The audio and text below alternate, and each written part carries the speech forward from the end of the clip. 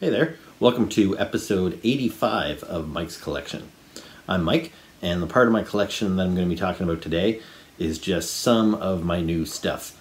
Um, after a couple of weeks, maybe even a couple of months of kind of not getting a whole lot of stuff, because when COVID hit, um, not only did the mail kind of slow down, but uh, stores weren't open, um, so I just wasn't getting a whole lot of stuff.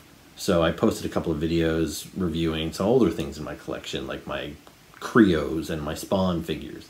Um, but now that stores are starting to open up and things are starting to arrive in the mail, um, I've been kind of just inundated with new toys lately. Um, I got the new series of G.I. Joe Classified, which I posted a video about uh, about a week ago, um, and I've got a whole bunch of other stuff since.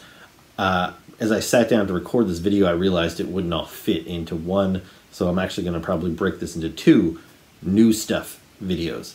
So this is new stuff part one, and it's not really in any particular order that I received it. Um, I just tried to lump collections together. So I got a few uh, Star Wars Black Series to talk about, I got a few Funko Pops, and a few other kind of odds and ends that I'll talk about in here as well.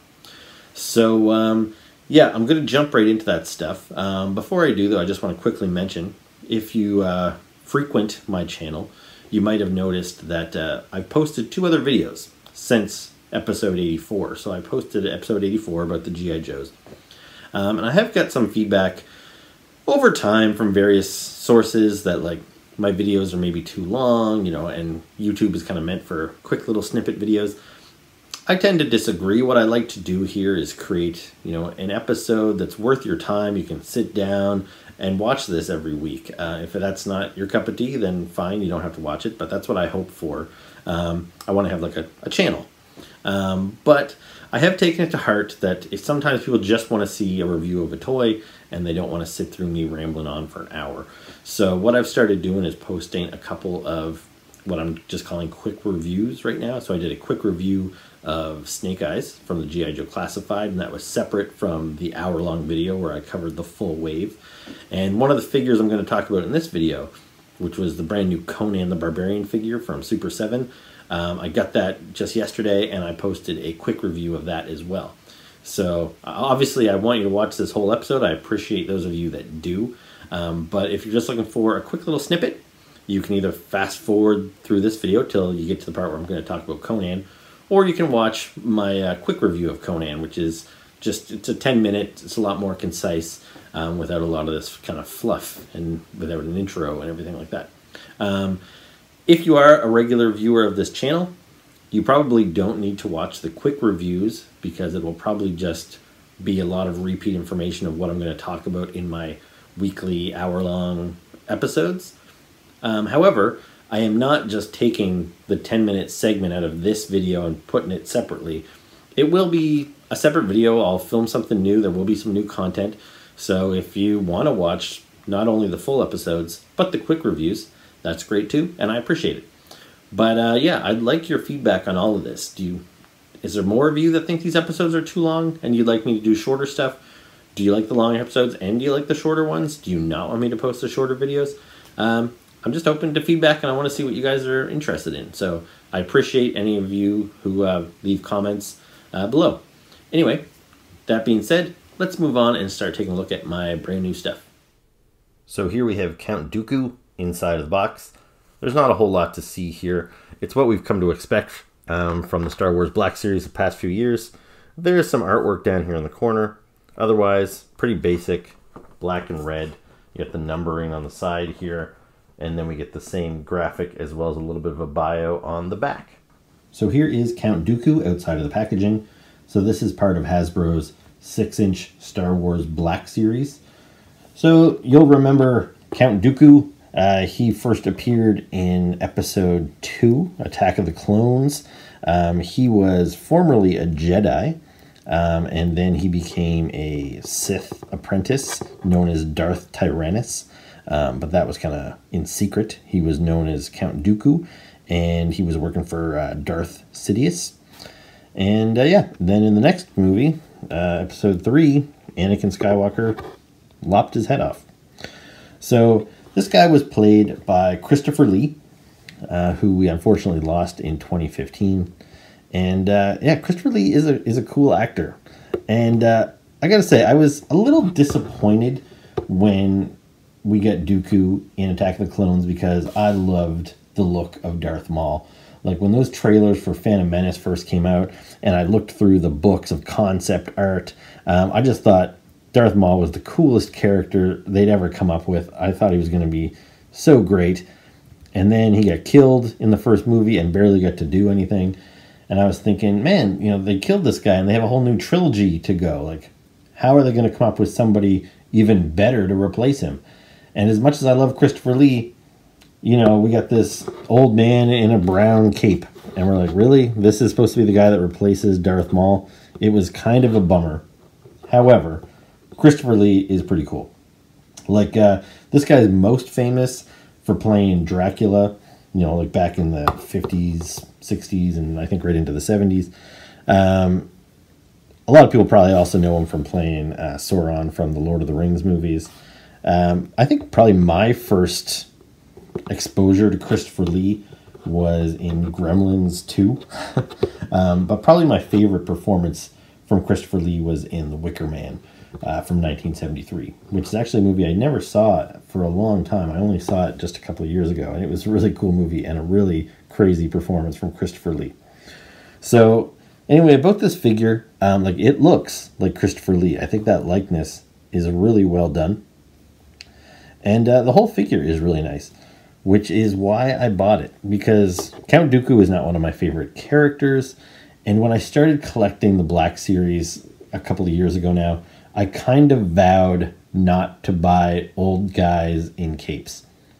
I have a huge collection of three and three quarter inch Star Wars figures where I would buy pretty much everybody. So I have so many Jedi's, just guys in robes, and I have senators and battle droids and a lot of characters that I didn't necessarily love, but I just bought them to be a completist. So when I started buying Black Series, I was like, I can't believe I'm going to start collecting Star Wars again. But when I do, I'm only going to buy cool looking robots and aliens. I'm not going to buy a bunch of old men in capes.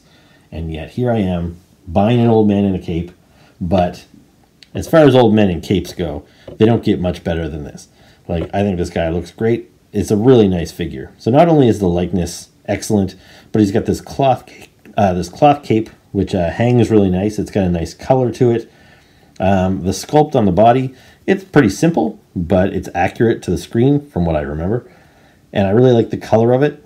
You know, it's not black like you'd expect to see with most of these Sith guys. It's kind of got a nice brownness to it, which just makes him look a little different from the other guys on my shelf.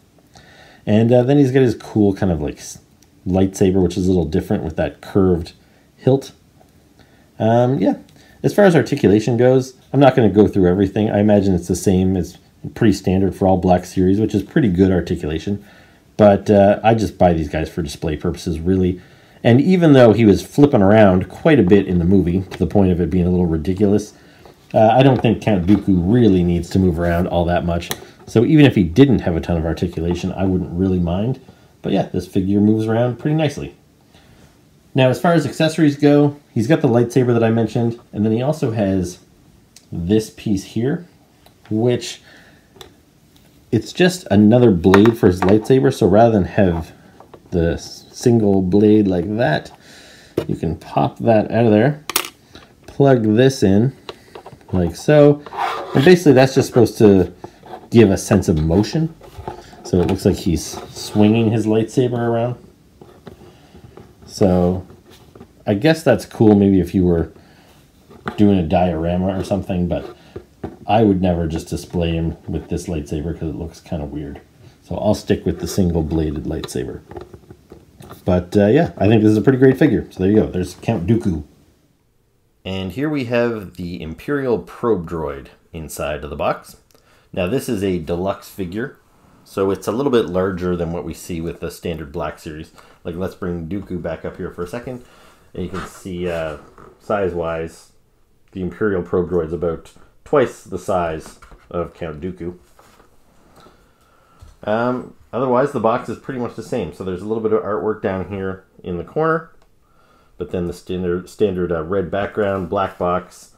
Um, you got the numbering on the side the D3. I assume maybe that's for deluxe figure. Not sure. And then we've got a little bit more, you see a bit more of that artwork on the back, as well as a little bit of a bio for the character. And that's about it. So let's pop this guy open and take a look at him outside of the packaging. So here is the Imperial Probe Droid out of his box. Now you may recall this guy appeared in Star Wars Episode 5, The Empire Strikes Back. Uh, it was right at the start of the movie. So after the battle at the end of the first Star Wars, where uh, the rebels blew up the Death Star, uh, and then they were mounting basically another attack. So the rebels had a secret base, and the Empire was thinking, we got to track these rebels down and destroy them before they can launch another devastating attack. So because they didn't know where the rebels were hiding in the galaxy, they sent out thousands of these probe droids to probe the universe and hopefully report back that one of them had found the rebel base. And one of them eventually did on the snow planet Hoth.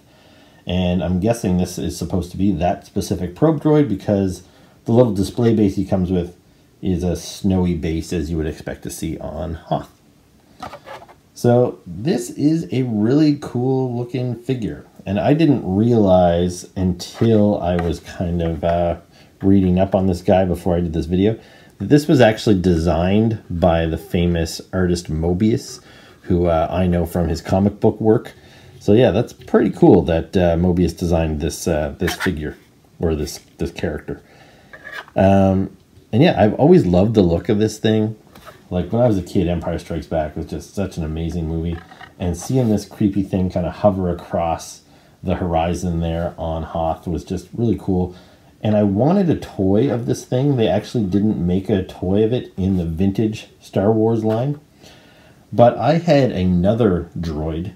Uh, it was the droid is called FX7, and it's actually like a medical droid. But it had all these little legs that came out and were attached to the base. It didn't really look like this figure, but I thought it was supposed to be this figure when I was a kid. So I didn't use FX7 as a medical droid. I used it as an Imperial probe droid. And you might think, well, you're an idiot. That figure doesn't look anything like this thing. But there was a lot of that in the vintage uh, Star Wars toy line. After all, my favorite figure from the vintage line was Walrus Man, who really looked nothing like his uh, what he how he appeared on screen. So yeah, it wasn't unheard of that a figure would not match the actual on-screen appearance of a particular character. Um, so yeah, I think the first time that we got the probe droid in plastic was during the 90s, which uh, was the Power of the Force era, back when the original movies were re-released in theaters. Um, and I thought I bought the probe droid then, but I, I couldn't find it when I was digging through my old Star Wars toys, so I don't know. I don't think I would have gotten rid of it, so maybe I never had it, or maybe I've misplaced it somewhere. But uh, anyway, this is now the only probe droid in my collection and uh, I think it's really cool. Um, there's not a whole lot to him, like size wise. The he stands pretty tall because you you plug him into this clear base. Um, so let me bring Dooku out here again, and so you can see he's compared to one of these characters. He stands pretty tall, but when you take him off of the base, he's actually shorter than the character there. And you know these guys here in Canada are priced at thirty bucks this is priced at 45 bucks. So, you know, I don't know if it really warrants the extra expense. I don't know if he's that deluxe. But um, that aside, I do love the look of this figure. Like, there's no real obvious front to this figure. Like, you'd think you'd want to line his eyes up to the front. But there's eyes all around this head in a complete 360, which makes sense given his function as a like a probe droid is that he's supposed to be uh, looking everywhere. So this really covers that. Uh, I think it looks awesome. And to be honest, it wasn't until I had this figure in hand and I was fiddling around with them that I realized, you know what, the uh, the robots from the Matrix, like those squid droids, they must have been inspired by this design because there's a lot of similarities. So, anyway, as far as articulation goes, so the head spins around, uh, and then all of these little legs are articulated, sometimes in multiple spots. So it moves there, moves there, uh, again, moves down here, and it can swivel around. So there's a good bit of movement on there. So you can do some poses with this guy. Um, but at the same time, he's kind of stuck on this peg. He doesn't stand very well on his own. And uh, so yeah, even though you can move his legs around, there's there's only so much you can do with the Imperial Probe Droid. But uh, I'm glad I finally have this guy, and I think he's going to look really cool up on the shelf. Now I've got one more Black Series figure to show you. This is the Heavy Infantry Mandalorian. And when I started this video, um, I actually didn't know this figure was going to be included in this video because I'd started shooting this afternoon and then uh, I kind of set the video aside for a little while because I was going over to my buddy Miguel's house to see his new puppy, who is adorable, by the way. But Miguel lives over in Dartmouth, which there's a Toys R Us over in his area. So I thought, well, I haven't been into Toys R Us in a while. I'm going to pop in there. And anyway, I found this heavy infantry Mandalorian. So I figured, well, now I got to come home and plug this into the video that I'm halfway through. So here we go. This is brand new for me. I just got him like an hour ago. So this guy here was featured in the Mandalorian TV show. There's really not a whole lot to be said about him. This little bio on the back probably covers pretty much all that we know. Um, I'm not even 100% sure that this figure is supposed to represent a specific character or if he's just a whole uh, kind of squadron of heavy infantry Mandalorians and this is what they all wear. I think there was one guy wearing this in the show, but I don't know if they ever addressed him by name. And I can't be certain that uh, it was all just one guy. It might have been a couple. And this character is so new, I don't think they've had time to expand on him in any of the fiction. So I don't think there's any novels or comic books or anything that address him specifically. So pretty much what we saw on screen, where he was just kind of a background character, is all we really know. So uh, this guy, like uh, the probe droid, uh, he's got a deluxe number. So this guy was actually released before the probe droid because he's D2, where the probe droid was D3. And uh, yeah, I'll just mention the price again. So yeah, this guy was 45 bucks. Um, and I I really have a hard time paying that because when I look at his accessories, like at least the probe droid was kind of a bigger, weirder shape. Um, this guy is a standard figure essentially. And then for weapons, like this isn't that elaborate. Like if he had a big, you know, missile launcher on a tripod, you know, a big hefty accessory, I could justify the price a little bit more, but really he's just got a gun and a backpack there's not a whole lot that feels deluxe about this guy. But who knows? Maybe I'll feel differently once we open them up. So let's do that. Okay, so here is my heavy infantry Mandalorian outside of the packaging. So I stand by my initial assessment that he does not feel like $45 worth of plastic, but he does come with more than most Star Wars figures come with. I find most of these Black Series, they either come with a, a lightsaber or maybe a rifle and a pistol, um, this guy's accessories are a little bit more elaborate. Like he does have this backpack, plugs into the back. This hose here, it plugged into his arm. And then he's got this big tube attached to a pretty big gun. But yeah, still, I think maybe he could have been five bucks more instead of 15 bucks more. But regardless, uh, I'm excited to get this figure because he did come out uh, months ago, like closer to when The Mandalorian was actually on TV. Uh, you know, around the start of the year. Um, and a friend of mine found one at Toys R Us way back then, but then he's become really hard to find. Um, and then maybe a month or month and a half ago, Big Bad Toy Store, which is the online store where I do most of my shopping, they put some up for pre-order, saying they were going to get some more in. So I pre-ordered them there. So I knew I was going to get them eventually, but uh, I had no way of knowing when kind of Big Bad was going to get them in stock. So now that I found him here at Toys R Us, I canceled my order from Big Bad Toy Store just because, um, you know, it saves me on the shipping anyway, and it saves me the wait time. So yeah, I'm glad I found this guy because he, he does look really cool. Like, he looks a lot like Boba Fett, who everybody already loves, and, you know, a lot like the Mandalorian, who now he's everybody's new favorite character, except he's got this kind of unique blue armor, uh, and he's got this bigger, bulkier design because all the other kind of Mandalorian guys, Boba Fett, uh, Jango Fett, and the Mandalorian, we're all kind of similar physiques. This guy does feel like he's probably a bigger dude under this armor, and uh, you know, so he's got a little bit of weight to him. And uh, I like the design of him. Like you can see his armor is kind of weathered. He's got some paint chips on him. Like it looks lived in. He's got some kind of weathering on the armor bits here. The knee pads are kind of scuffed up. He looks cool. Um, the weapon looks good. I'm not entirely sure if I've got him holding it properly. Um, it looks like maybe it's a two-handed weapon. I do worry a little bit about this hose. Is it going to snap over time? Because I've seen similar hoses on other figures break. Um, what else can I say about this guy? Know. I haven't had a chance to really move him around, but it looks like he would move pretty well. He's got the double jointed, double jointed knees there, so good range of movement. Uh, you know, his ankle's moving pretty good there. Uh, everything else looks pretty standard. He's got the kind of mid torso crunch, bends of the elbows, the wrists, the head. So yeah, he moves well. He looks cool. Uh, what more? What more can you say? Pretty cool figure. Here we have the Captain Crunch Funko Pop inside of the box. So a little bit of artwork on the front. Again, another image of the figure on the side. On the back, you can see the other figures that are available in this wave. So there's another Captain Crunch that's holding a bowl of cereal, as well as a couple of his uh, friends and enemies.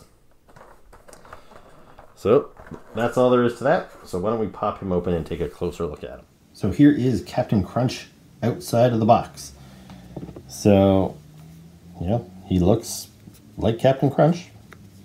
Um, one thing that I do find a little odd about him is these Funko Pops have a very kind of definitive look where they have a very big head and a smaller body. And I don't necessarily feel that this Captain Crunch has that. Like, he looks pretty to scale. Like, his head just isn't quite the same shape as most other Funko Pops. Like, here's a Batman for comparison. And uh, I don't know if you can really see what I'm saying, but yeah, it's just, uh, it looks a little odd to me. Like, it doesn't look bad, but he just doesn't really blend in with the other Funkos and their kind of unique shape. Um, the same is true of one of the other ad icons. You see here, that's the uh, kind of the subgenre that Captain Crunch is part of. Um, I bought the Kool-Aid Man a little while ago, and he obviously didn't really work for the normal Funko Pop format either. So I don't know, just uh, just something to notice. So I don't have a whole lot to say about Captain Crunch, because what can you really say about a cereal mascot? Um, although I will tell you that Captain Crunch is legitimately my favorite cereal, although Captain Crunch, the character, is not my favorite uh, mascot. I always liked Toucan Sam. Um, I actually used to collect Toucan Sam memorabilia when I was like a kid and even into junior high and high school. So I had uh, I don't know, stickers and magnets and keychains, any kind of little Toucan Sam junk you could get out of a cereal box. I collected it all. Now, unfortunately, I don't have the Toucan Sam uh, Funko Pop, and he's actually pretty expensive to buy now, but uh, hopefully I track one down one day. Um, so one thing that's interesting is because I didn't know much about Captain Crunch, I decided to Google him to see out, to see if there was any uh, interesting information I could share with you guys. And one thing I learned is that his full name is Horatio Magellan Crunch. Uh, the boat that he captains is the Guppy. And these other guys on the back of the package that I pointed to earlier. So the Crunchberry Beast, I don't know much about him, but I, I seem to recall maybe seeing him somewhere before. But the only image I could find of him is it looks like he was probably put on the box when Crunchberries were first introduced and it looks like that would have happened before my time. Captain Crunch has been around since 1963, so Crunchberries were probably sometime in the 60s or 70s. But as for this other guy, Jean LaFoote, I don't recall ever seeing him as a kid, and I assumed maybe he was just a villain that showed up in some old commercials. But it turns out he had his very own cereal, which is pretty crazy. Um, so yeah, interesting stuff. Uh, now with Captain Crunch, I remember in the 80s, he often fought the Soggies. Those were his enemies in the commercials back then. And they were just these kind of like wet, globby things that were always trying to make the crunchy cereal soggy. And uh, one of my favorite little prizes that I got out of the cereal box was this sticky soggy that you could launch and grab things. Now I could not for the life of me find an image of it on uh, on Google anywhere. Now I did find something similar. There's some images of sticky hands that you could get out of cereal boxes, but with Captain Crunch it was specifically it was white and the at the end it wasn't just a hand it was actually the soggy character with two little arms coming off of him and uh, yeah i thought they were really cool. We had a few of them me and my brother and after after a certain amount of time they got kind of gross because they would get little hairs and everything all stuck to them. But uh, i did love those sticky little soggies. So yeah it's kind of weird that i can't find them anywhere on the internet. Uh, just another another little interesting tidbit about captain crunch and the soggies is I do remember one of their ad campaigns where Captain Crunch had gone missing, kidnapped by the Soggies or something, and they used to run this ad in Marvel comic books all the time about Spider-Man fighting the Soggies trying to rescue Captain Crunch. Anyway, let's move on to the next thing. So here's another Funko Pop. So this is Stanley Hudson from the TV show The Office. Now The Office is one of my all-time favorite shows, if not my all-time favorite. Um, I absolutely love The Office. I've never stopped watching it. Um, I used to watch the British series, and when it came over to like the American version, I started watching it right from the beginning. Watched it all the way through to the last season, and uh, now that it's on Netflix, me and my wife watch it all the time, like a couple of times a week at least. We never seem to get enough of it. So when Funko started making uh, pops of the Office characters, uh, I was really hoping that we would get everybody in the Office. The first wave, which you see on the back of the package, had Michael, Jim, Dwight, Pam, and a couple of the others, but it was missing some of the key characters like Stanley and Meredith. And uh, so I was really hoping that they would eventually go back and fill in some of those spots. And so I'm happy to report that they are starting to do that now. So here we have Stanley Hudson. So here is Stanley outside of the box. So Stanley was played by an actor named Leslie David Baker, and Stanley is one of the many salesmen at Dunder Mifflin. And I think this figure does a really good job of capturing him. It's got his kind of tired, just exhausted eyes. Um, he's got his crossword puzzle in his hand, which is a key element of Stanley because he's always seen doing crossword puzzles in meetings. And then specifically here, he's got a pretzel. So that is from one specific episode where they give away free pretzels in the lobby of the office, and Stanley is quite excited about it. In fact, his exact quote is I wake up every morning in a bed that's too small, drive my daughter to a school that's too expensive, and then I go to work to a job for which I get paid too little. But on pretzel day, well, I like pretzel day. And that's about as excited as Stanley tends to get. Now, this particular figure, you might have noticed on the box, it has an exclusive sticker. It says exclusive to EB Games in Canada. So I don't know if that means that uh, anybody in the States or whatever might have a hard time tracking this down. But uh, I'm glad I was able to get one relatively easy. I pre-ordered it from EB Games, which is the store where I do buy a lot of my Funko Pops and other action figures. Um, because there is another um, kind of a standard release of uh, Stanley and it's Florida Stanley. So it's based on a specific episode when the crew of the office went down to Florida for some training uh, after the company gets bought by Sabre. And uh, it's a fun figure, and it's Stanley in a nice, fun, you know, white suit.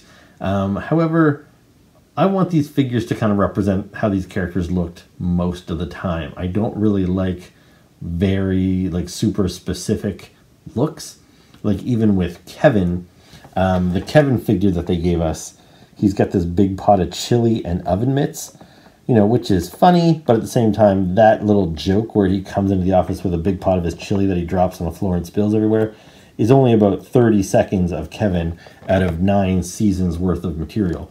So I don't really like anything that super specific. The fact that Stanley has a pretzel, that is specific, but it's not uh, so specific that's distracting from the figure. So I think this is pretty much the perfect Stanley, and it's much preferred than the, the standard Florida Stanley version. Now this here is Dargon, the heroic leader of the Sectaurs. This is a brand new toy line from Zica Toys. And you can see here they've got some really nice character specific card art on the front of the packaging that shows Dargon in all of his glory, as well as a bit of an establishing shot of the world that he comes from. On the back of the package, you see there's a little bit of a bio that explains the history of the world of Sectaurs. So that planet that they live on, you'll see here, it's called Symbion. And it's about these insect people that are in battle. So there's the good guys, the bad guys, and you see all the other figures available in the line on the back. So here is Dargon out of the package. And let me just tell you, that was not an easy decision to make. I normally open up all of my toys, but there are certain ones that I like to keep sealed on their card and Dargon was a figure that I really thought I would probably keep sealed.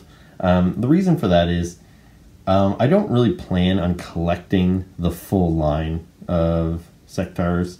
Um, I was probably just going to get a one-off. Like this was, I was intending this to be my only one. And it's got that really cool card art with the unique character artwork. Because some toy lines, like say Ninja Turtles, they might just put the four turtles on every package regardless of which turtle you're buying or if it's Shredder or Bebop or whatever. So I really like like on the classic GI Joe cards and on the Star Wars cards when they have the unique character that you're buying and it's really nice artwork as well. It's not just some photograph from a movie or something like somebody actually took some time and painted that. And it's a really nice looking piece of art. And sometimes I like to just pin these things up on my wall so they can be admired. And I don't like doing that necessarily with G.I. Joes and stuff because as you can see in the background there, I usually open my G.I. Joes and I want to add figures to my collection. But when it comes to something like this, that's just kind of a one-off item, that's the kind of thing that's perfect for me to just pin on the wall and enjoy it. However, the more I looked at this thing, the more I was just itching to play with it. So I just kind of had to open them up. Now what I did do is I sliced along the, the side of the bubble here. So I can maybe slide him back in there and I might still be able to pin this to my wall and it will still look complete at least with the figure inside. But uh, yeah, I had to slice him open to check him out. And I am glad I did because my first impression is that he's really cool. Like, uh, let's take a closer look at him here. So he's got this uh, like nice metallic color on his armor there. He's got a couple little holsters on his side. Uh, you know, you can see his articulation, like he's Good movement there with the double jointed knees. He moves at the elbow. Not only does he turn at the wrist, but he also has a joint so his wrist can move to the side. Um, he doesn't have any sort of ab crunch there, but uh, he does turn at the waist a little bit. Uh, his head, so he's got a ball joint there on the top of his neck, so he can look side to side and up and down a little bit. Um, so yeah, and he just looks really cool. And uh, he's got a bunch of accessories too, which I didn't realize. It's hard to tell inside the packaging. But here he's got a little, a little shield.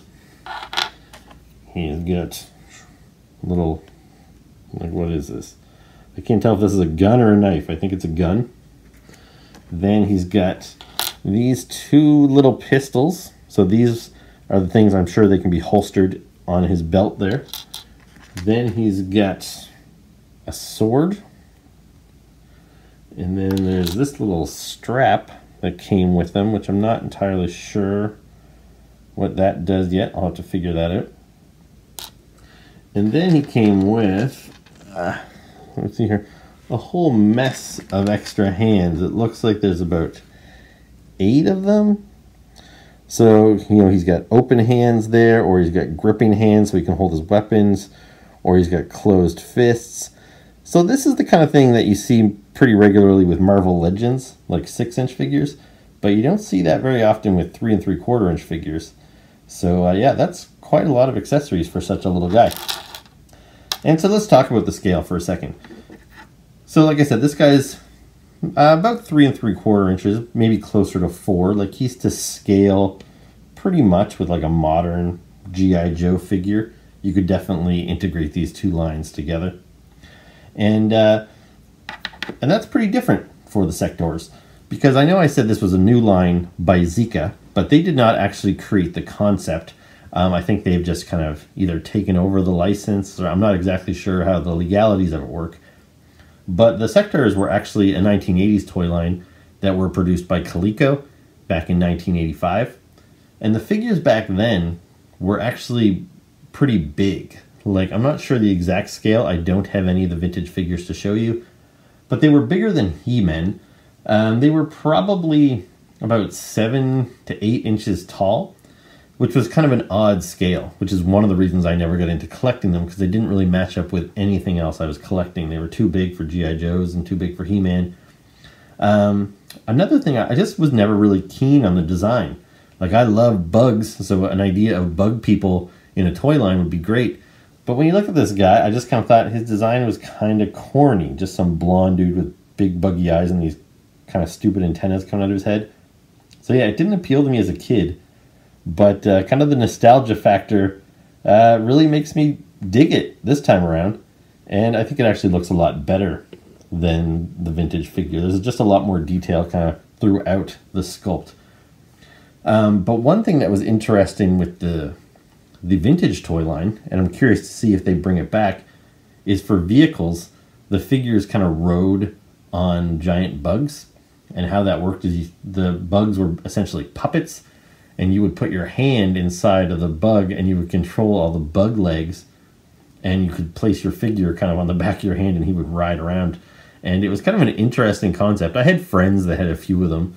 Um, so Prince Dargon here he's the leader of the good guys, and he rode around on a dragonfly called Dragon Flyer. So yeah, I'll be curious to see if uh, if Zica actually goes one step forward and actually makes some of the uh, the bugs for these guys to ride. I think the initial wave of these figures has been successful enough for them in that they've already announced that there's going to be a second wave of figures. Now, even though I was never really into the Sectaurs as a kid, um, I was kind of surprised to learn that they actually did have an animated series. It was only a five episode miniseries. Um, I've never seen it, but if I had seen it, that might have enticed me to actually collect the figures because sometimes that's all it takes is just seeing th these characters come to life makes you want them. Um, and they also had a Marvel comic, but unlike G.I. Joe and Transformers and stuff that had these very long running comic books that made it into like 100 issues or so, the Sectaurs was just a mini series. It was only eight issues. But I was surprised to learn that the first two issues of that were actually drawn by uh, Mark Texeira, who is, in my opinion, the best Ghost Rider artist there's ever been. So yeah, it's kind of surprising that a big name artist like that would be on a, a silly little toy book in the 80s. But that's pretty cool. Anyway, I'm uh, I'm so impressed with this figure that uh, I actually I don't think he's going to be a one-off anymore. I might uh, order a couple more of these guys once I put this video down. Because, yeah, I really, uh, I like the way he feels. I like the way he moves. The amount of articulation and the amount of accessories. So let me plop those in there. So, yeah, pistol fits in there. Nice and snug. I don't know if I have the right hands on him to hold his sword. There you go. Yeah, these guys are just really cool. I dig them. I don't know if I can get his shield in this hand. There we go. There you go. Sword, shield, pistols. Really cool. And this guy has another feature that I'm kind of excited about that I will show you right now. So check this out. He's got magnet feet. So that's really cool. Like you can make these guys fight on the side of your refrigerator. Oh, looks like I just lost one of the magnets. But yeah, he's got little magnets there you see in the front of his feet, as well as he's got pegs for a display stand in the back. But anyway, I think the magnet feet is a really cool idea. Um, the only thing that seems like something they maybe missed out on is this guy does not come with a display base. And is, you know, I'm glad that G.I. Joes come with these display bases, but if the Sectaurs had come with a metal display base that their magnet feet could stick to, that would be great. But uh, yeah, you can have these guys fight on the side of your refrigerator and stuff. It's just, uh, it's really cool. Yeah, they maybe need a little bit of more glue in here because they're not staying super great. But still, that's pretty cool. I dig it a lot. So yeah, that's uh, Prince Dargon from Sectaurs. Zica Toys has also recently released this line of Captain Action figures. So I have ordered just one of them for now. So again, you see some character specific artwork on the front like this here is Captain Action. He's kind of the main hero of the line, and he was available uh, in three different colors, the blue, purple, and gray. So this card art here does have him displayed in his purple uniform, which matches the figure that I got. Now here you see the back of the card. So it differs a little bit from the Sectaurs' card. Um, it does not have a bio explaining who Captain Action is. Um, and it does have a cross promotion so you can see all the other figures available in the line. But rather than showing you actual pictures of the figures, like they did on this card, they just show you the uh, the artwork specific to each character. So you can see there we've got Captain Action, Captain Evil, Jet Jungle, the Captain's Evil Henchman, Action Jackson, and lastly, this guy's name is cut off, but I believe he's another type of henchman. So, pretty cool card. I really like the artwork on there, and it looks uh, really nice. And here is Captain Action outside of the packaging.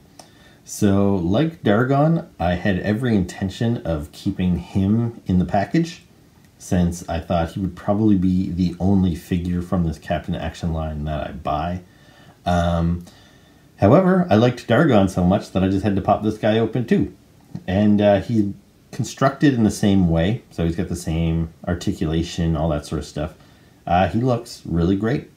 Now, like the Sectaurs, Captain Action is an old toy line that has been revived by Zica, but these guys are even older. These guys are from before my time. So the first Captain Action was released back in 1966. And the idea was that this was kind of uh, to compete with uh, G.I. Joe. So it was made by a company called Ideal Toys. And uh, so, kind of like how G.I. Joe wasn't really a bunch of characters like we know them today, like Snake Eyes and Duke. G.I. Joe was kind of just a general army man, and you could kind of change his outfits. That was the same with Captain Action. So he was just kind of a generic doll, and you could buy all of these different outfits to dress him up like various uh, pop culture icons. And the really cool thing about Captain Action back then is that they had all kinds of licenses that you wouldn't expect one company to get a hold of. So they had Marvel characters, so you could dress your Captain Action up like Spider Man or Captain America. Then they had the DC license, so you could dress Captain Action up like Batman or Superman. And then they had other random things like the Lone Ranger or like Buck Rogers or the Phantom. So you could dress him up like pretty much anybody. So that was pretty cool. Um, so yeah, he came out in 1966. In 1967, they introduced his villain, uh, Doctor Evil, who I assume for licensing reasons, like with Austin Powers, they can't call the villain Doctor Evil anymore. Uh, that's why he's called uh, on the back of the package there, just Captain Evil instead of Doctor Evil. And you can see he looks quite a bit different. He's still got the blue skin, but now he's more like a straight clone of Captain Action rather than this weird, uh, weird dude with his exposed brain like the vintage figure. And yeah, anyway, the Captain Action line was canceled in 1968, so it was pretty short lived. So, uh, yeah, it was well before my time, but uh, I still really dig the look of this figure. And like the Sectaurs, he comes with quite a few accessories. So, once I opened him up there, I get this whole bag of stuff. So, you can see he's got alternate hands, his hat, some weapons, looks like an alternate head. So, let's pop this open and take a look at all this stuff. Okay, so like Dargon, we've got a bunch of extra hands. So it looks like eight different hands uh, with him as well. And same idea, you've got the open hand, the closed fist, the gripping hands. So lots of variety there. Um, for weapons, he's got this really cool sword, kind of a like lightning bolt painted into it. Then he's got one little pistol, which is kind of a really cool reflective silver paint. And I'm wondering if this can fit in his holster here. Um, maybe. Yeah, it kind of fits in there. And then he's also got another silver gun. This is a really cool, like, sci-fi looking laser rifle. So yeah, that's a pretty cool weapon. I like that one a lot. And so then he's got an alternate head, and I'm not sure what the story behind this is, but uh, they both, I'm not sure what these are based on. Maybe this is kind of his newer design, and this one is supposed to look more like the vintage toy. I'm, I'm really not sure, but uh, that's pretty cool. I like them both. They're both really well sculpted and really well painted. And then lastly, he's got his hat.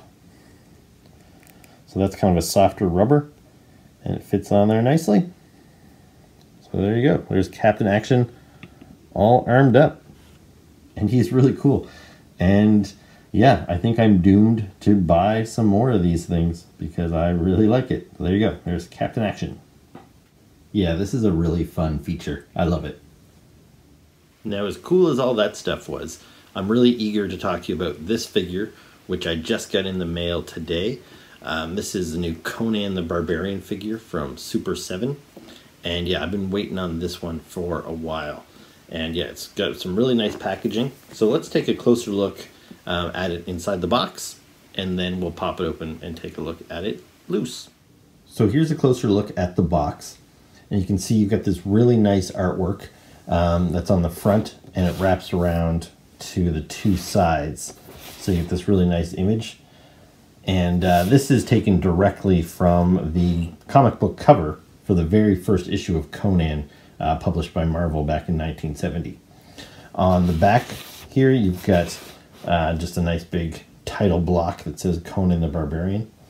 And this here is just a sleeve that slides right off of there. So underneath the sleeve, you can see kind of just a little bio, a little bit of history of Conan the Barbarian. It's written in this really kind of faint text over the red. It's kind of, it can be a little difficult to read. I think it's, the camera's picking it up pretty good there. So that's kind of nice looking. Same thing on the side. You got this artwork that can almost be a little tough to see because it's just kind of printed red on red, but it's a different uh, kind of glossy uh, printing on there. So it looks pretty nice. And there you see the figure. So it's got this nice stark red box. Looks really nice. You see the figure, you see his weapons, you see his alternate head. Yeah, just a really nice presentation. So uh, yeah, it's almost a shame to open this guy up because he looks so nice, but that's what we're to do. So let's take a look at him outside of the box. So here is Conan outside of the packaging. Now, Conan, since he was produced by Super 7, that's the same company that's been making Masters of the Universe Classics figures for the last few years. And Conan here uses the same buck, like the same sculpting and design, as the Masters of the Universe Classics. So if you collect those figures, then you know what you're going to get here. So the articulation, it moves like any Masters of the Universe character. And uh, yeah, moves pretty good. Um, now, I have seen some people complain that this uh, the amount of articulation he has is maybe a little out of date because this buck that they've been using on He-Man since 2009 yeah, it, it lacks like the double articulated knees and all that stuff that you're seeing on more modern figures. But uh, I think it works really well for the Masters of the Universe style figures. And if the idea of this figure is to have a Conan that fits in seamlessly with your Masters of the Universe, I'm glad they didn't, you know, tweak the articulation too much. I'm glad he's on that same standard buck because I think it, it looks really great. Now, uh, you'll notice here I already switched out the head so he came with an alternative head. This is a more kind of mellow head, but it pops off relatively easily. So here you see him with his head off. So if you wanted to get rid of this necklace, you can do that. But we'll leave that on, and we're going to pop his yelling head back on here. So there you go. There's yelling Conan. Now, uh, I'm not a hardcore Conan fan. I'm a pretty casual fan. Uh, you know, like he's been around since the 30s, um, you know, and published in short stories and stuff like that my first exposure to him was in um, probably the movies. I, I, I, don't know. I might have seen him in comic books before the movies because Marvel has been publishing uh, Conan comic books since 1970. Um, but then he was in the Arnold Schwarzenegger movies, uh, Conan the Barbarian in 1982 and Conan the Destroyer in 1984. So I don't know if I've uh, if I saw the comics or the movies first. Um, I never collected the Conan comics um, however, I did end up, I'm not sure how or why, I have one Conan magazine. So the comic book was just called Conan or maybe Conan the Barbarian. And that was published in standard comic book size and in color and all that stuff.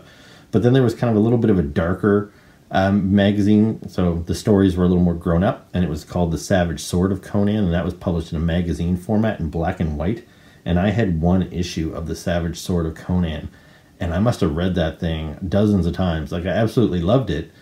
Uh, it was gritty and you know it showed Conan as a total badass and a womanizer, and I loved it. So I don't know why I never really got into collecting more Conan stuff, But uh, yeah, this is a really cool figure. I'm glad I finally have it.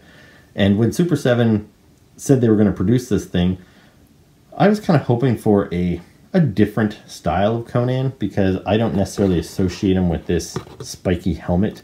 Um, I usually imagine him more the way Frank Frazetta would paint him with just kind of the, the bangs and the hair hanging flat. So that's kind of the Conan I was maybe hoping for. And Mezco is actually releasing a figure of that Frank Frazetta style Conan soon, which I think is really cool.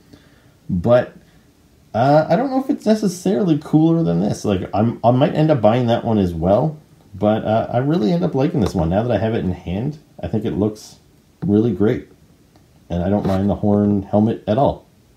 Now, since we do have two heads, and I am glad that they gave us the alternate head, so it's not just the uh, the yelling one, but we have the the cool and collected one as well. But I was kind of hoping we would maybe get a helmeted head and a non-helmeted head, but uh, Super 7's already begun releasing more Conan figures. They've they've released the first wave of figures based on the Arnold Schwarzenegger movie. And again, I thought I would maybe buy those, but then when I saw the Conan they put out, he's got this big woolly jacket on and he's got a helmet on again, and it's still not the Conan that I really think of when I think Conan. But I'm assuming they're going to do a wave two, and uh, I'll probably end up buying a Conan with maybe some war paint on him or something like that. So this is probably my first of many Conan figures to come. Now, uh, Conan, now, like I said, he's been around a long time, and He-Man, who this figure is basically part of the He-Man uh, Classics toy series, uh, He-Man was largely inspired by Conan, and I think when Mattel was making the Masters Universe Classic figures, they wanted to get a Conan-like figure into the series. So they previously released a couple of barbarian figures which serve as kind of stand-ins for Conan. So here you see Conan with the Mattel produced Vikor and Vykron, both of which are kind of Conan stand-ins. Now this guy here is a little goofy, I don't care for him so much, but uh, this one here actually makes for a pretty good Conan figure. I was pretty happy with this one. Again, I would have rathered or maybe a removable helmet or a head without the helmet, but I thought this guy was pretty great, but I feel even he is now overshadowed by this figure. I really like this figure, and I think he's superior to both of those other kind of previous attempts. So now let's talk about his accessories a little bit. So he's got the alternative head. Then he's also got the sword. So that fits in his hand nice and easy. And then he's got this spear with these spiky tips.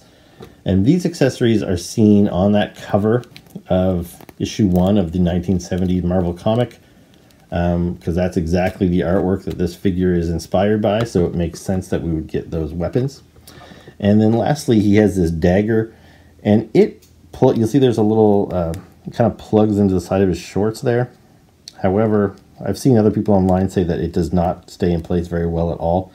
So in the packaging, you can kind of see there's this clear elastic band around his waist that's just there to kind of hold the thing in place while it's in the package. You're supposed to take that off, but I think I'm going to leave that on there just so the dagger stays in place. You can't really notice it unless you're really looking looking hard at it. So there you go. There's Conan. I think he's awesome. Now, just that alone, I would have been satisfied. But when I opened up my Conan, there was an extra little box in there. It says, to the death. Thank you for your support from Super 7. Now, honestly, I can't remember if they told us this was coming in advance. I know this wasn't part of the initial pre-order when I bought this figure like a year or more ago. But uh, they might have told us at some point they were giving us a bonus gift. Or maybe this was just intended to be a surprise. I, I don't know. But what we got here is the exact same weapons that we already have, except these are all bloodied up. So that is a really cool bonus. I like that a lot. So very cool. I really like this figure. Very impressed with it. Way more than I expected to like it. And uh, yeah, I think Conan is probably a... I don't know if he's a contender for my toy of the year, but he's definitely going to make my list of best of the year. So yeah, very cool stuff. And one last thing before I go, I just wanted to shout out a buddy of mine, Matt Sullivan, who is a super hardcore Conan fan. He's been a Conan maniac for as long as I've known him. I uh, hope he doesn't mind me showing this picture of him from Halloween when he went out as Conan. Um, he's probably worn this dozens of times, though. Uh, anyway, Matt is now uh, working on officially licensed Conan materials, and he has written the source book, uh, Monolith, for the Conan board game that's out now. So if you're watching my video because you're a big Conan fan uh, and you haven't checked out this game yet, uh, maybe do that because my buddy Matt is writing it, and uh, I'm sure it's awesome. So there you go. Check out Conan Monolith by Matt Sullivan. So that is just some of my new stuff that I've gotten in the past couple of weeks. So, uh, like I said, I'll be back pretty soon with another video to show you some more of my new stuff because I've got more cool stuff to show you. So, uh, please stay tuned for that. That'll probably be posted in the next few days. So, uh, as always, thank you very much for watching. Like the video, subscribe to the channel, leave me comments below, and uh, I'll see you next time. Ciao.